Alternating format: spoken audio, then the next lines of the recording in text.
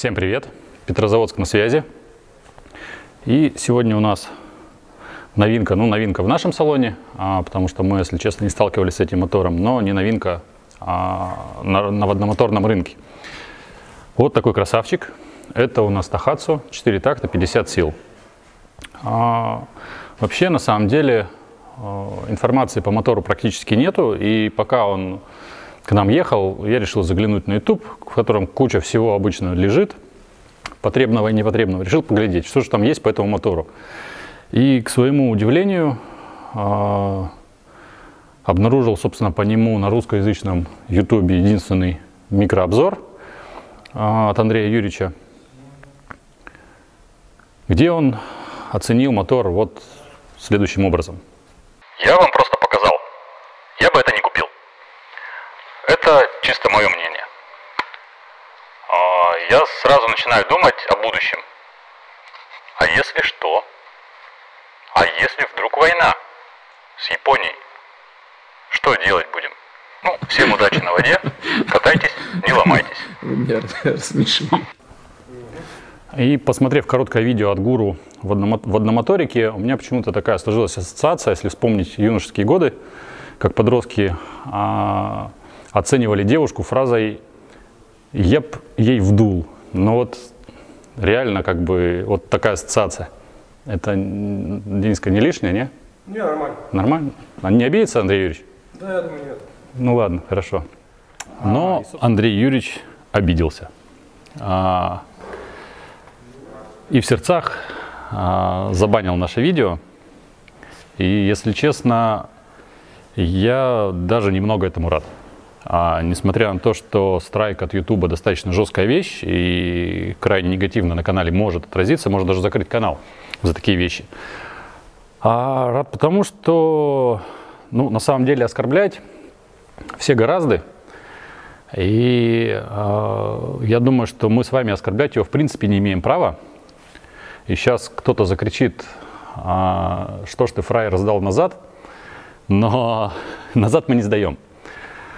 А, на самом деле все переросло немножко из шутки а, в такое уже достаточно некрасивую ситуацию, потому что народ достаточно агрессивно стал отзываться а, господине Звереве. И, повторюсь, на это право нет ни у меня, ни у вас. Если вы лично не знакомы, с ним каких-то дел не имели, то просто так рассказывать мы не имеем права. А, Поэтому хорошо, что удалили. А, Надеюсь, как бы не будем оскорблять никого у нас на канале, потому что мы достаточно мирные товарищи. А, Повторюсь, э, заднюю я не включаю, поэтому мы пересняли э, его ролик в виде меня, для того, чтобы вы поняли, о чем идет речь. Ссылка под, в описании будет на его ролик, вы сможете это посмотреть. Суть нашего посыла на самом деле была несколько иной.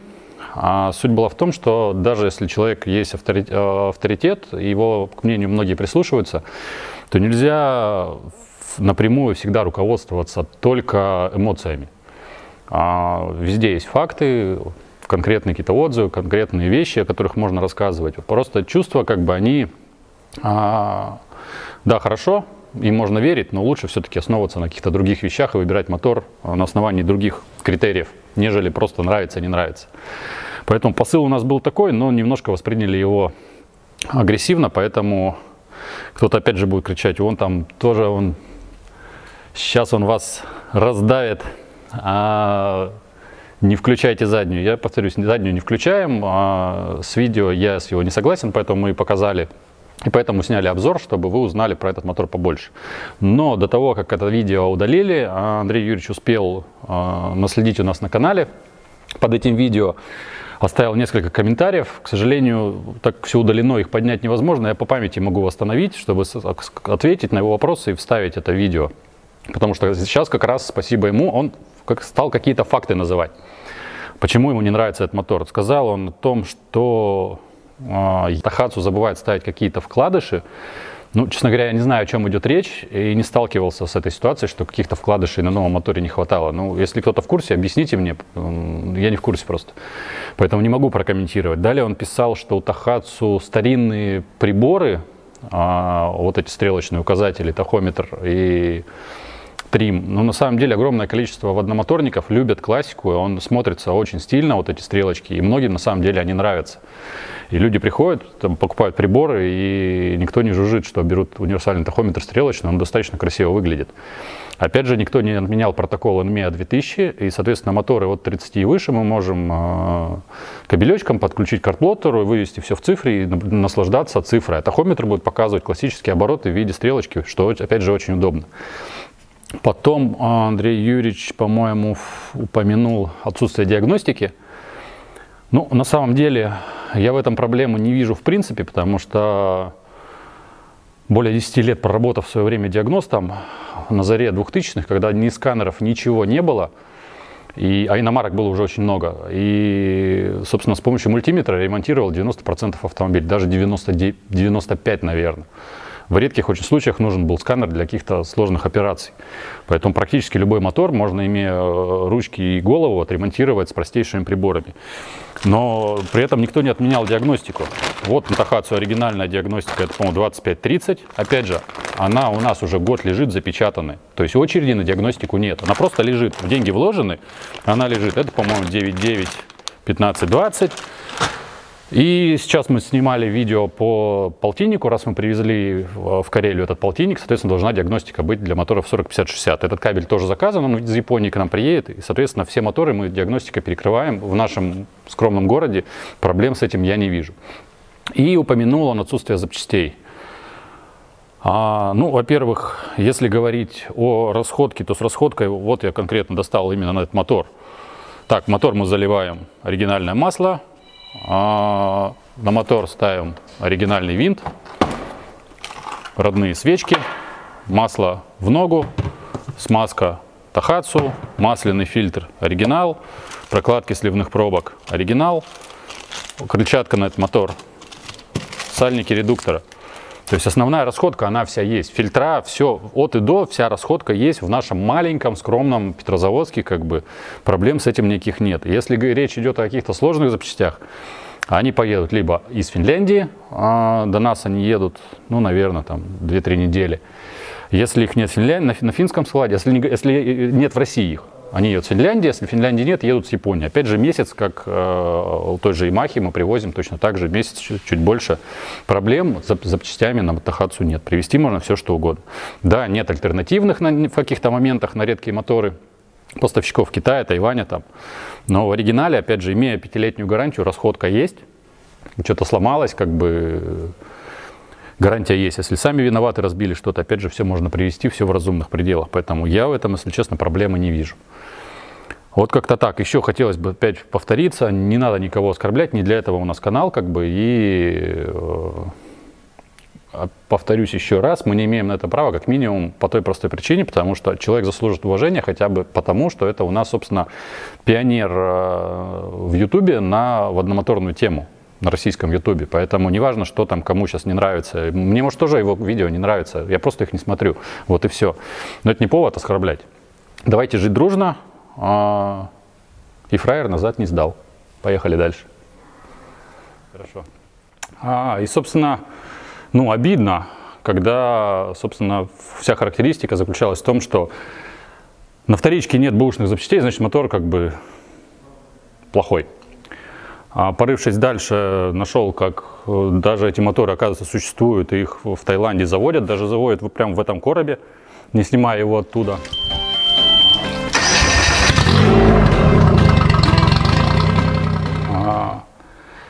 Чуть дальше пошли наши финские друзья и всеми любимый россиянами фин Вилли Хапасала, наш лучший друг, гоняет на этой лодке.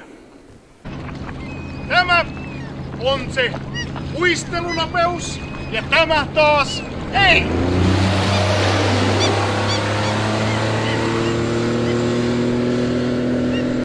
Ты что, финский усвоил? Какой финский? Ну, он же по-фински говорит. Кто по-фински говорит? Он же фин. Кто фин? А, ну, собственно, вот на этом а, и заканчиваются обзоры этого мотора. Еще есть несколько распаковок в Америке. И складывается впечатление, что мотор вышел вот только сегодня, вот он такой красивый, вообще дизайн обалденно, хорошо выглядит, современно, модно, молодежно, красиво. Как будто он вышел вот только вчера. На самом деле мотор вышел 7 лет назад, и он 7 лет представлен на международном рынке. Нет, это не поделка от Honda или от Mercury, или из Китая, или еще откуда-то. Это полностью разработка а, Тахатсу, сделан он в Японии. А, опять же, кто-то будет вспоминать, что у Тахатсу совместный есть проект с Хондой. Да, эти моторы были. Была 60-ка, которая производила Honda для Тахатсу. А, Были более старшие моторы, более мощные. На сегодняшний день нет. И производит моторы под себя. А, Соответственно, мы имеем мотор 50. Он идет в корпусе 40 и 50 сил.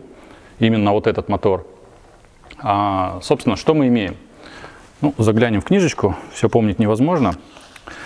Соответственно, мы имеем кубатуру 866 кубов, 3 цилиндра, 40 и 50 это у нас один и тот же мотор, отличает их только наличие рестриктора, ну, ограничителя воздушного потока во впуске на 40 и блок управления.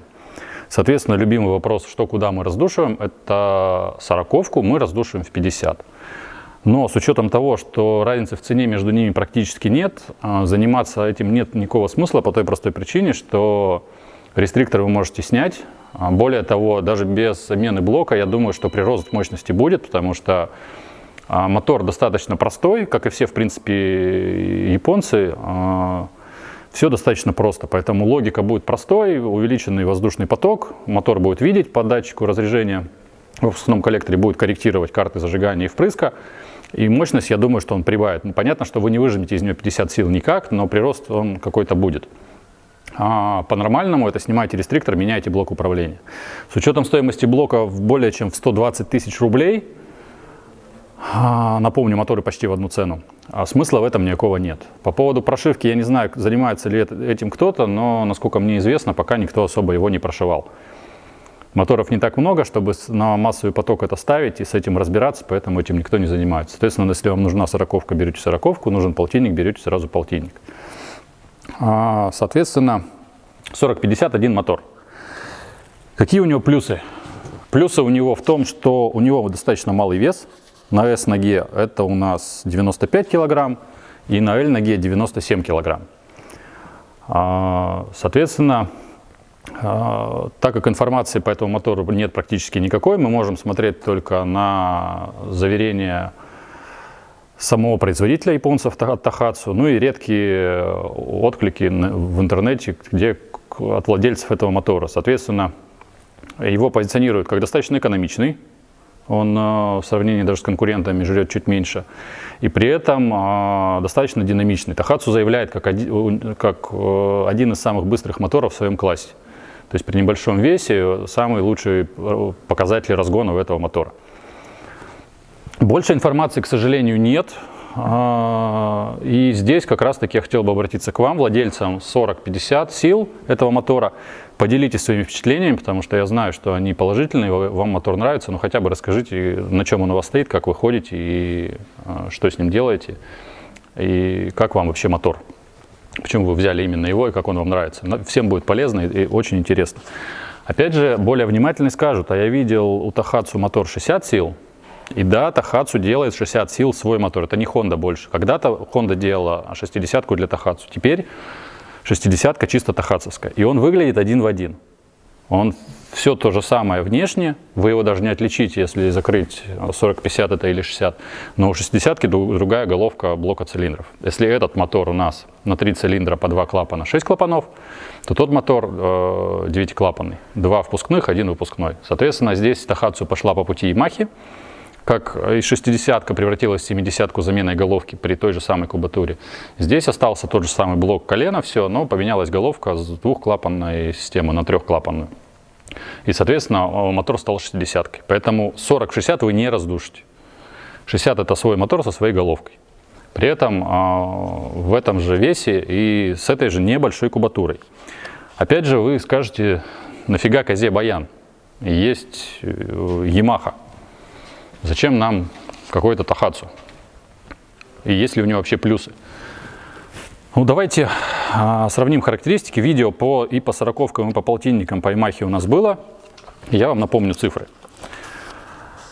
Соответственно, Тахацу, если мы сравниваем 40 Тахацу и 40 Ямаху, а, Ямаха весит всего на килограмм больше, то есть можно сказать, что моторы абсолютно идентичны. А, чем интересен будет Тахацу? Тахацу будет интересен тем, что у него кубатура больше. 866 против 747 у трехцилиндрового э, Yamaha 40, F40F. Соответственно, получаем при тех же габаритах и том же весе э, большую кубатуру. Многим это нравится, большая тяга, и, соответственно, мотор э, привлекает этим. Едем дальше. Чем еще он интересен? А, если мы говорим о полтиннике, то вот здесь разница увеличивается между Yamaha и Tахатsu, но надо понимать, что именно вам нужно. Если мы смотрим на Yamaha 50 сил, то там это уже литровый мотор, потому что Yamaha 50 в корпусе 60. 50-60 у Yamaha и 40-50 у Tахатsu. То есть это разные немножко сегменты, сравнивать их в лоб как бы не совсем правильно. Поэтому 50-й Тахацу проиграет Ямахи в объеме, естественно, потому что 866 здесь кубов, и там почти литровый мотор. Но а, Ямаха, из-за того, что она уже в корпус 60 уходит, у нее другой вес. Более там, 100, по-моему, 13 килограмм, и здесь 94. Соответственно, 15% прироста в весе она будет ощутима.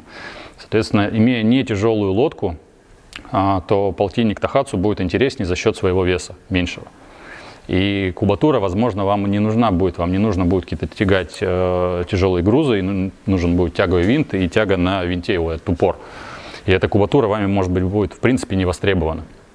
Поэтому он в своей нише находится, и 40-50, небольшой вес, по факту это сороковка, если с Ямахой сравнивать, при этом есть возможность взять полтинник, и кубатура в сравнении с сороковкой больше. Поэтому мотор, он сам по себе, он интересен. Если говорить о ценах, вы любите вообще спрашивать о ценах. И э, мы очень не любим отвечать на эти вопросы. По той простой причине, что все меняется с такой скоростью, что называв цену сегодня, завтра уже будет совершенно другая. Ну давайте все-таки э, озвучим цены. Итак, э, сороковка на сегодняшний день Тахатсу 40 на короткой ноге АЕТС с гидроподъемом стоит 517 тысяч рублей. На длинной ноге тоже 517 тысяч рублей. Если смотреть в сторону Ямахи, то Ямаха будет э, чуть дешевле, это в районе 500 тысяч. И короткая и длинная нога 498 тысяч за короткую, 503 за длинную. Э, едем дальше. Полтинник от Тахацу стоит на длинной ноге 529, Yamaha тоже 529 тысяч. То есть он в одну цену, э, оба японских бренда в одну цену. Но тут появляется один интересный момент, что у Тахацу полтинник есть на короткой ноге. Это у нас длинноногий, но для любителей установить мотор на текущий транец там, на вашем прогрессе или на какой-то лодке, куда доступен мотор в 50 сил, и где нужна короткая нога, у Тахацу такой мотор есть. Это вот он только с короткой ногой. У Yamaha этого мотора в принципе нету, там только длинноногий мотор. Поэтому здесь как бы надо смотреть, что вам нужно. Если говорить о 60, который построен на базе полтинника, то есть по сути тот же самый мотор с другой башкой, то у него цена 582 тысячи а против 574 а, у Ямахи. И тут кто-то опять скажет, нафига козе баян, и скажут это второй раз. Если мы имеем Тахацу, который стоит столько же, иногда там на 10 тысяч дороже, чем Ямаха, зачем нам э, Тахацу? Но ну, ценообразованием мы не занимаемся. Информация идет от японцев. Японцы считают, что мотор столько стоит. Ну и у меня есть основания им доверять, что действительно они оценивают его высоко. И они ставят на, практически на одну э, ступень с э. Но даже не это главное. А главное то, что когда вы сегодня придете в магазин, ну, например, в наш, и попросите, мне нужна Yamaha, то, к сожалению, мы вам откажем в поставке. По той простой причине, что сейчас идет поставка, уже очередь на поставку весны. Более того, практически вся очередь, она расписана.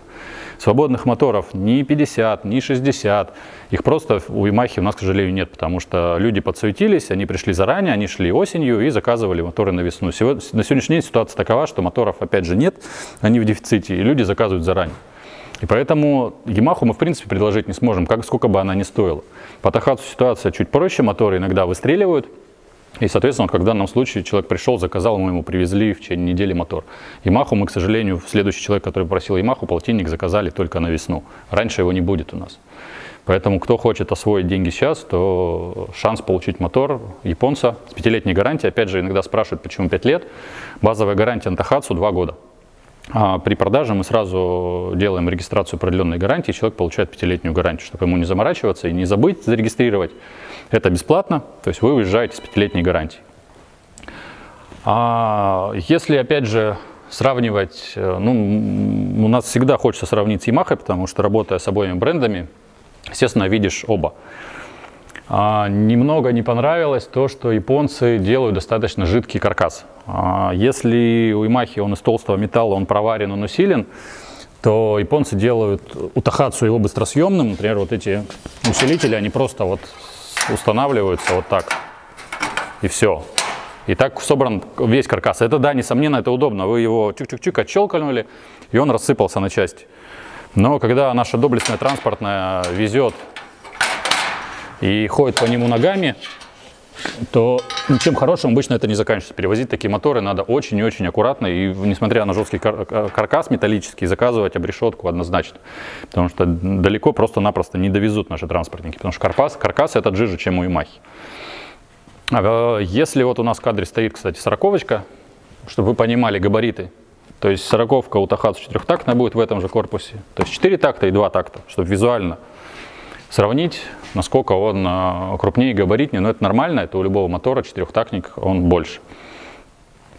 Ну, а, собственно, а, важный очень момент, в каком виде поставляется мотор, когда вы его купите. У многих этой информации нет. Соответственно, покупая мотор, вы получаете в каркасе сам мотор, из него выходят силовые провода на аккумулятор, и, собственно, больше из него ничего не выходит, в коробке с мотором ничего не лежит. Ну, кроме стандартно топливного бака на 25 литров. Бак такой же, как и на Ямахе, это мы уже показывали, один и тот же завод выпускает. Далее идет коробка а, с рулевой проушиной и рулевой тягой, чтобы вы могли подключить дистанцию. Интересный момент у Тахатсу а, в том, что номер мотора, он на комплектующих тоже продублирован. Соответственно, вы четко понимаете, что это вот именно от вашего мотора, прям номер мотора выбит на пакете, вам ничего не перепутали, у вас все подойдет, все четко, и никто ничего не, вас не обманывает. Естественно, идет груша также со своим номером мотора. Так.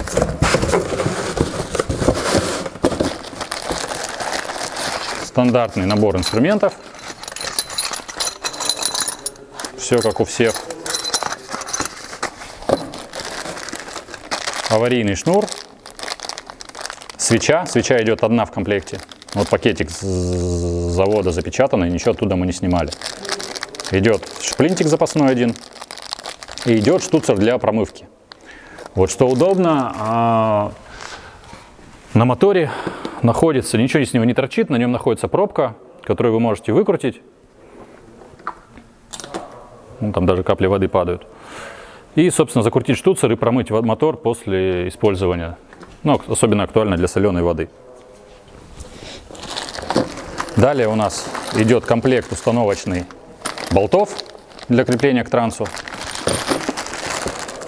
Идут наконечники тросов, которые подключаются к мотору. Руководство на английском, оно идет штатно упаковано в комплектацию. И отдельно дилер, напоминайте, должен вам отдать руководство на русском. То есть он выходит из Японии без руководства на русском, его докладывают уже здесь в России к мотору. Поэтому не забывайте, в комплекте идет английский. Интересный момент в том, что при переводе немного опечатались, либо скопировали просто с другого руководства и не обратили внимания. На последнем листе есть комплектация, и там, собственно, указано, что, во-первых, у вас идет а, гайка для грибного винта. Но так как винт уже установлен на моторе, то, соответственно, гайка стоит на нем. Отдельно гайка не идет, несмотря на то, что они пишут здесь, что она должна быть вот в этом пакетике. Нету ее там. И никто вас не обманывает. Далее указано, что в комплекте три свечи. Свеча по факту идет одна. Это опечатка в руководстве, на будущее поправят, пока это, к сожалению, вот так. Более того, номер свечи указан вообще не от этого мотора из комплекта. Здесь родная свеч- свечка иридиевая, которая стоит на моторе. Здесь вот указана обычная классическая свеча, простенькая. На этом моторе иридиевые свечи, причем достаточно дорогие. У нас, кстати, на складе они есть. Если кому-то надо, об- обращайтесь без запросов. Поэтому э, вас, повторюсь, никто не обманывает. Э, Вот это на последней странице небольшая опечатка. Поэтому вот такой комплект поставки идет с мотором. Естественно, мотор дистанционный. С этим комплектом вы только его физически повесите на транец. Идет вторая коробка.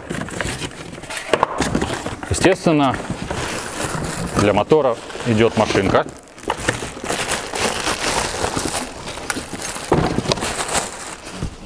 Такая красивая оригинальная машинка с кнопкой гидроподъема. Кстати, важный э, для многих момент – это то, что мотор поддерживает управление оборотами троллинга. Соответственно, вы просто нажимаете на ключ зажигания, и обороты меняются. Все элементарно.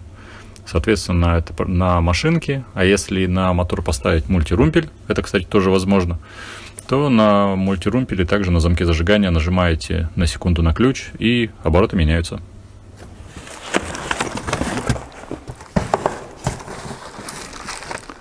Машинкой руководства и наконечники, которые ну, стандартный комплект поставки машинки, как что у Yamaha, что у Tohatsu, у всех плюс-минус одинаково все. Далее, с мотором идет тахометр. Тахометр здесь классический, стрелочный.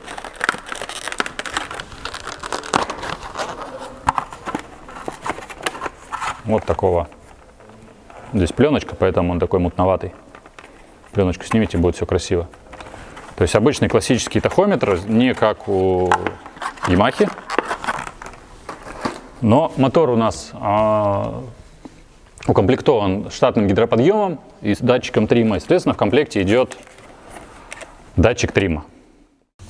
А, Интересная особенность. А, Если в вашей лодке а, какой-то рецесс очень маленький, и, соответственно, вы боитесь, что поднимая мотор, вы колпаком просто в него упретесь и колпак сломаете, то для этого мотора существует комплект ограничителя подъема. Соответственно, датчик устанавливается, все в штатные места, все оригинал.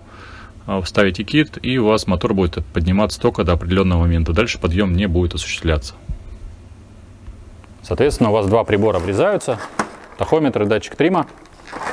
Ну и, соответственно, чтобы все это работало, все это подключить, коса идет, которая идет от мотора к этим двум приборам, чтобы у вас все работало. Соответственно, а, тросов газа реверса с мотором не идет. А У Yamaha 40 они идут в комплекте, с более старшими моторами их уже не кладут. У Тахатсу, в принципе, низкие моторами, троса газа реверса не идут. Комплектация неплохая, для установки все есть, троса в размер ставите и э, погнали на воду. Поэтому э, мотор, я считаю, недооценен э, необоснованно. Мотор это не новинка, и 7 лет эксплуатации на водоемах. И в ви- в видео они встречаются вот маленькими кусочками, нарезками и в Европе, и в Америке он есть. И в Азии он по всему миру он есть и присутствует, он там эксплуатируется. Это не штучное производство для российского рынка, какая-то поделка, самоделка. То есть нормальный мотор, который в достаточно больших количествах производится. А, повторюсь, Япония. Я считаю, что мотор можно брать, мотор достойный, будете получать удовольствие. Тем более, что потихонечку привыкли уже к 9.9, 15, 20 инжекторному. Народ уже начинает очень активно брать тридцатки инжекторные у Тахатсу, тоже это их собственный мотор. И, собственно, тут от тридцатки до 40-50 буквально такое расстояние. И имея на сегодняшний день уже Тахатсу и понимая, что вас мотор не подводит, вам все нравится, я думаю, вы без проблем, а, увеличивая мощность, рассмотрите именно Тахатсу, потому что останетесь в этом бренде и возьмете достаточно достойный мотор, который составит конкуренцию именитым брендам. На шильдике вы можете увидеть надпись «Бельгия». Чтобы вас не смущало, это просто ввозится через европейское представительство, а произведен у нас в Японии. Ну и цвет у нас издалека кажется черным, по факту это баклажан. Мотор доступен также и в белом цвете. Надеюсь, все рассказал. Делитесь своими мнениями, кто владеет этими моторами. И 40, и 50, и 60 тоже расскажите, Что, как и почему будет интересно всем и нам тоже, потому что для нас это первый мотор. Колпак не открываем по той простой причине, потому что он находится в каркасе, его отсюда не вытащить, а мотор будет клиент устанавливать сам. Надеюсь, что он к нам приедет либо на установку, либо на обслуживание, и мы покажем уже, что там внутри. А, Кстати, вот эта пробочка сбоку, это для замены масла. Опять же, достаточно удобно. Наклонили мотор, масло слили. Выглядит немножко архаично, как-то выбивается из стиля, но зато удобно. А так все, все обычно, все стандартно, все как у всех. Всем пока!